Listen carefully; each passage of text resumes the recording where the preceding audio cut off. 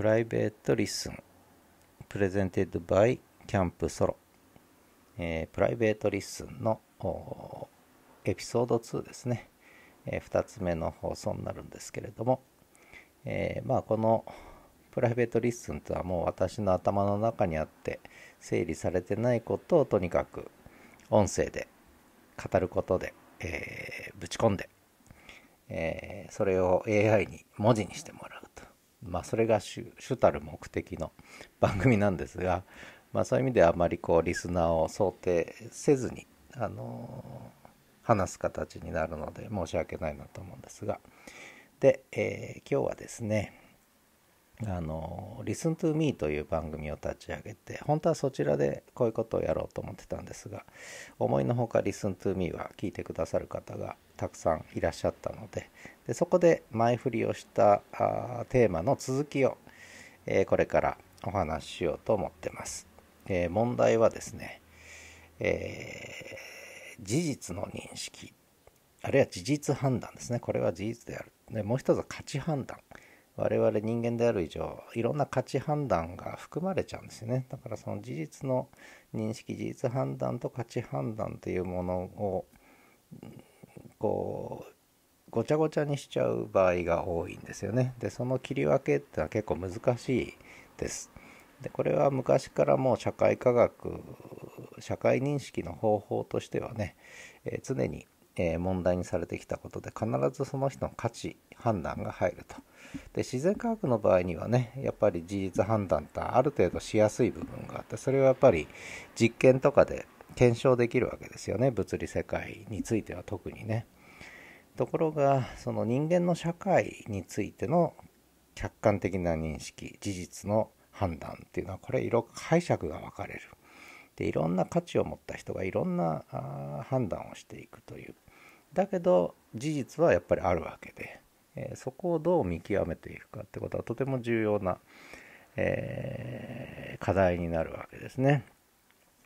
で、えー、まあ言い方としては一つは事実判断価値判断あるいは社会認識って言い方でもいいんですが他にもそのいわゆる主観性と客観性っていう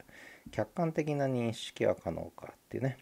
行き着くところ全ては主観的な判断じゃないのかと主観的な認識なんじゃないかって言えばその通りなんですが、まあ、この辺りの問題をね少し整理しておく必要があって、えー、まあ、まあ、なんで整理しておく必要があるかというと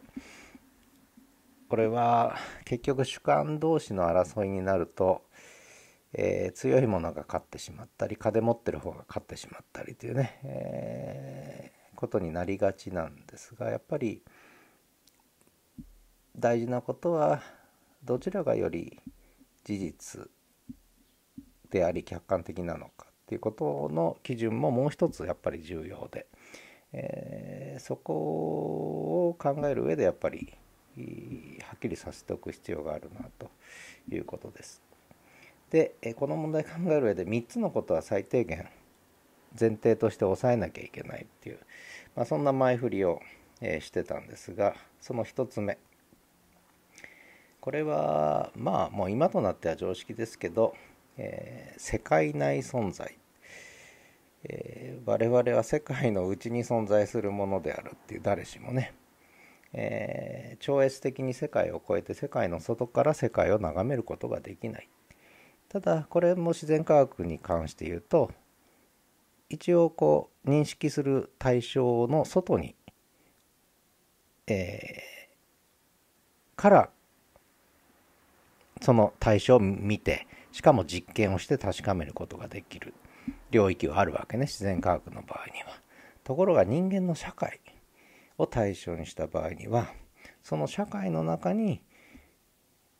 自分も含まれるしみんな含まれるわけですよね。認識する人間が世界の中社会の中に含まれてしまっているってこの問題ですよね。でこのまあ矛盾ではないんですけどこの存在論的なえー、事実ですね。世界内存在である。つまり認識する主体が認識する脳があ思考する脳が、えー、世界内存在である。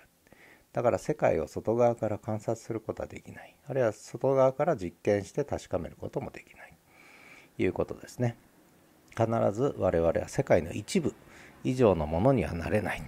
でそこでまあ昔出てきたのが神というね、えヘーゲルなんかそういうことですよね。結局最後は神神が出てきてしまうわけですけれども。でいかに神に近づくかと。でそれは理性なり知性の働きなんだっていうね、えー、ことで、え徹底させようとするのが、まあ、ヘーゲルの、えー、哲学であり認識論だったりするわけですけれども。まあでそれで 説明つくかとやっぱりちょっと、まあ、ヘーゲルはもう突き詰めたわけでそれはすごく重要なことなんですが、えー、やっぱりうんそこでは問題はやっぱり解決していないと。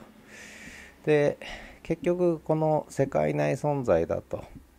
いうこと認識する主体人間その脳みそが世界内に存在してその一部だという話がまあ一個絶対的に抑えなきゃいけない話ですよねだから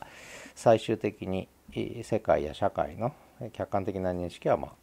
えー、完璧にできすることはできないという、まあ、これはもう事実存在論的な事実だって言い方するわけですよねでその上で問題はじゃあどこまでどういうふうにしたら客観的な認識が可能なのかっていう今度はそういう問題なんですよね。でその時にまあねカントさんなんてのは結局だから不可知論ってね知ることはできないんだっていう方に行っちゃうんですがヘーゲルはそこでそうではなくて理性の働きでね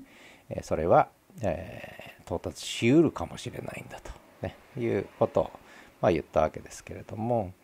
あのーまあこれについての私の考えはこれはまあウェバーとかねそういったのも前提にしてるんですけれども結局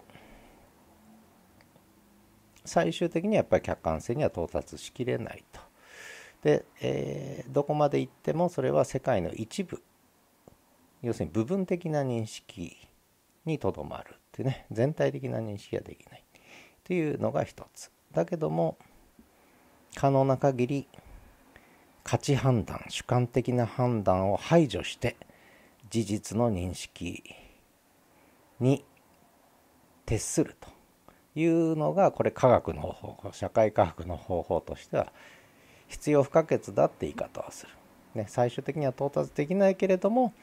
もう主観的な判断価値判断を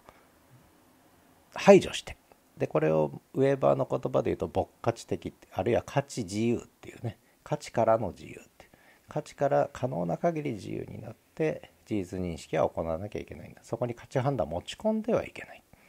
でこれは実は価値判断がなければ社会については考えられないだろうって議論もあったわけですよね。それに対してウェーバーはいやそうじゃないと。ね、えー、客観的科学的認識のためには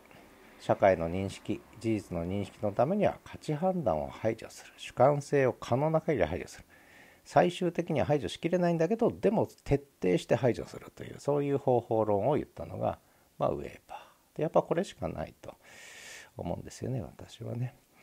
まあでその上でもやっぱり部分的な認識にとどまるという。まあそれはなぜかといえば我々が世界内存在だからだ。これが一つ目の話ですね。まあ聞いてしまえばなんだそんだけのことかと思うかもしれませんがただこれだけじゃないんですね。あと2つあるんですね。社会の社会的な世界を客観的に認識する。あるいは社会的世界の事実認識を行う、え、何が事実かという判断を行う、えー、という時にはこの世界内存在であることの他にあと2つのことを考慮に入れなきゃいけない。という話です。でまああと2つ何なのか。まあこれは、まあ、もし聞いてる人いればちょっと考えていただいて、えー、この次の放送で2つ目その次で3つ目言って、えー、いこうかなと思います。ということで、えー、 Private Listen ね Listen 2、えー、ここまで。ありがとうございました。